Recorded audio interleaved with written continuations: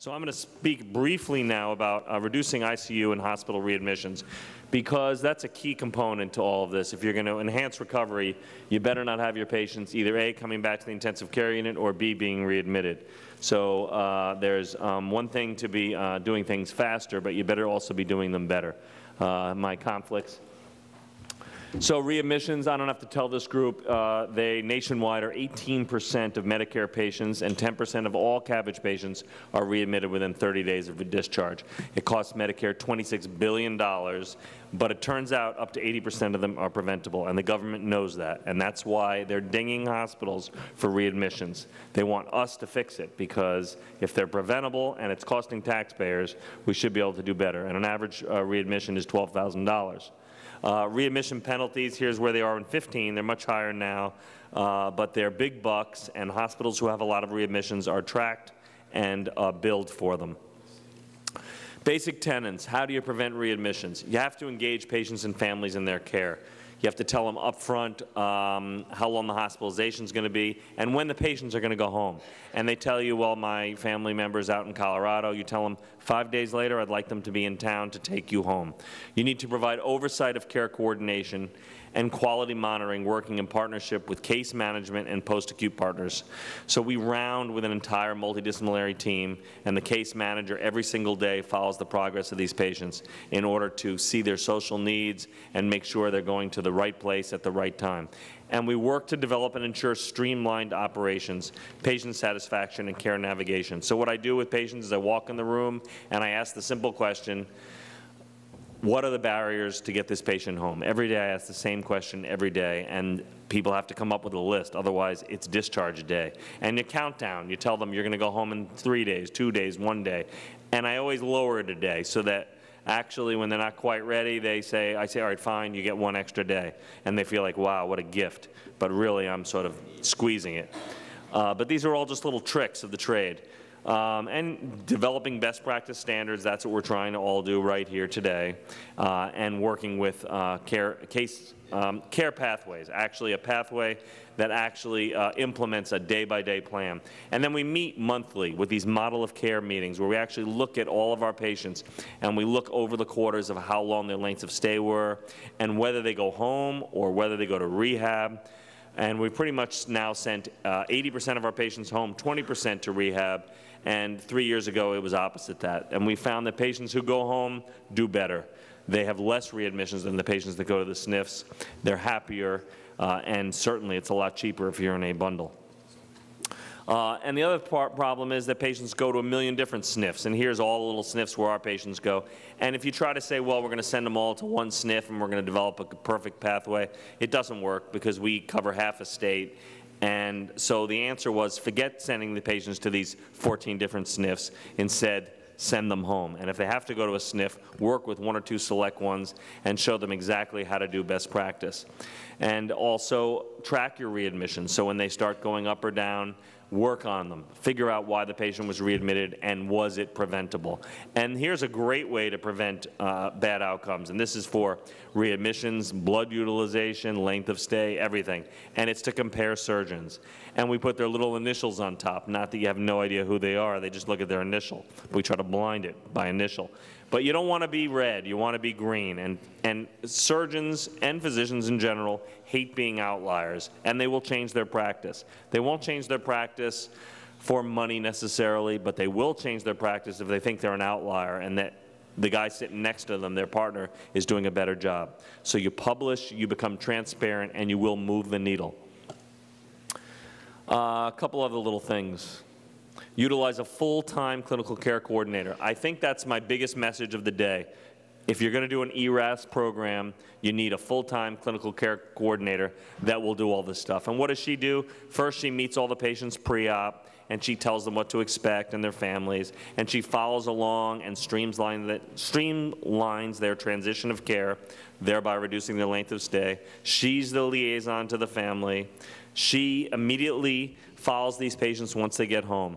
I send patients home with subtherapeutic uh, INRs all the time because I'm not interested in keeping them in the hospital, just waiting for their INR to get therapeutic.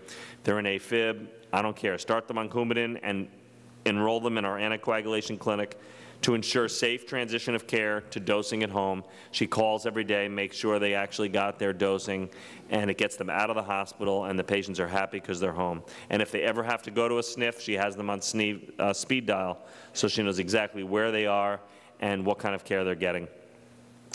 Uh, In addition, concrete steps to reduce readmissions. Uh, Follow up by phone with patients who are at high risk for readmission. We know the high risk. These three guys can round on a patient, and they can tell you that that patient is at high risk for readmission. We know it. Uh, It's gestalt, we can tell. They're the CHF patients, the patients with diastolic dysfunction, low EF. Uh, We can tell they're, they don't have much mobility, they're a little frail, and we call those patients up early and make sure that everything's fine. And when there's a hint of a problem, we bring them back to the office, not the emergency room. If a patient happens to show up in the emergency room, the uh, EMR automatically calls us. So we, we can can block a lot of admissions. Uh, We um, wait until we have full 24 hours of rate control before we get discharge a patient. So if a patient has a rapid AFib and the next morning they look great, I wait a full 24 hours because I find those are the patients that often pop back into rapid AFib, end up back in my ER, and that doesn't help the situation. Uh, The office nurse practitioner avoids the emergency room by setting separate times up during weekday hours to see these patients. You can't say your office is full and you can't see these patients, go to the ER. That doesn't work. It costs money. Uh, It's it's terrible for the patients. They sit in the waiting room and they get crappy care. Forget it. They need to come back to your office. Make office hours available. Screen and audit the readmissions, we talked about that. And if perchance a patient needs to come back in for a little fluid overload or rate control, utilize the observation status to decrease your readmission bundle cost and length of stay when appropriate. Uh, Continuing on, um, we talked about the post-acute providers. We really don't send many patients to SNFs. Um, Even our best SNFs um, underestimate the importance of a low-sodium diet. We call them and say, you know, please take the hot dogs off the meal plan because all our patients are showing up back in the emergency room with fluid overload. Uh, We really are trying to move away from uh, sending patients to SNFs. The surgeons have to buy in on this. Pre-op, the surgeon needs to tell the patient, you're going home, and set up uh, who's going to be there to meet you. Set expectations early. The team approach, we round with an interdisciplinary plan of care team. There's a case manager, uh, there's a pharmacist, uh, there are the um, rehab people. We have dedicated ambulation orderlies that ran, round with us and make sure the patients walk three times per day. Uh, And all this stuff is really, uh, I think, preventing all the uh, readmissions. Um, You don't want infections, you got to be all over your antibiotics. Do not continue antibiotics when they're not necessary. Uh, And critical care settings must double down on their attention to uh, wound and pulmonary care and appropriate uh, antimicrobial stewardship but that's pretty obvious to this uh, astute group. Uh, We also actually have something called an EDIS. That's a new term. Uh, This is someone who actually camps out in the emergency room. It's a physician, and works with a nurse practitioner, and tries to get in front of readmissions. Um, It's a strange situation, but we're in uh, what's called a, a- a next-generation ACO, and we're dinged pretty hard for readmissions. So they uh, do whatever they can to admit patients to these sort of uh, less than 24-hour stay uh, um, units where they can diurese them, control atrial fibrillation, and keep from, them from being readmitted. Uh, And we also have tons of of guidelines now for the outpatient management of AFib, cellulitis, DVT. A lot of these patients do not need to be readmitted. Uh, We've put Imprivata, which is one of these uh, HIPAA-compliant um, uh, communication devices now. We used to start with just the doctors being on it. Now everybody's on it. You can talk to the PCP, the specialists, the case managers, the ER, even the extended care facilities. Everybody's on this system. You can tell who's available, who's not, and send a um, uh, HIPAA-compliant communication in real time about patients, including uh, documentation, x-rays, everything, which really is uh, working across all devices and uh, improving communications.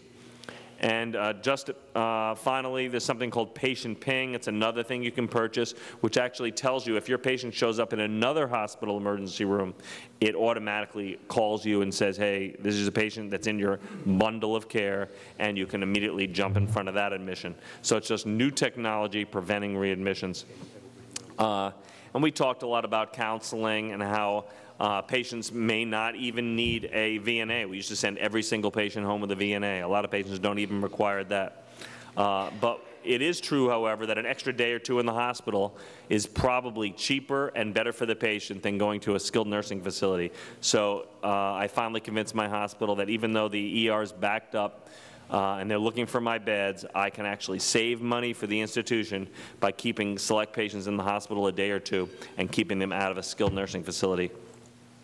And here's our readmission rates for the last three years. It's been dropping.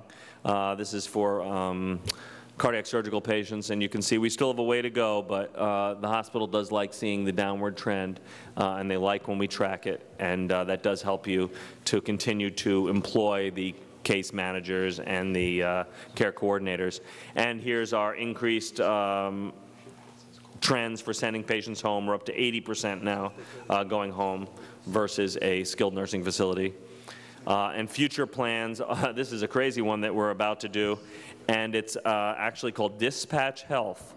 And it's sort of like an Uber with a, um, a uh, advanced practitioner on board, and instead of sending a patient to the emergency room, select patients, uh, we're going to send the advanced practitioner to your house. And then they evaluate them, they diurese them, and they have select protocols in which they can keep them from even having to come to the emergency room. And it turns out it's actually cheaper to go to the patient than to have them come to the emergency room. Uh, And that's the end of that talk. Thank you, appreciate it.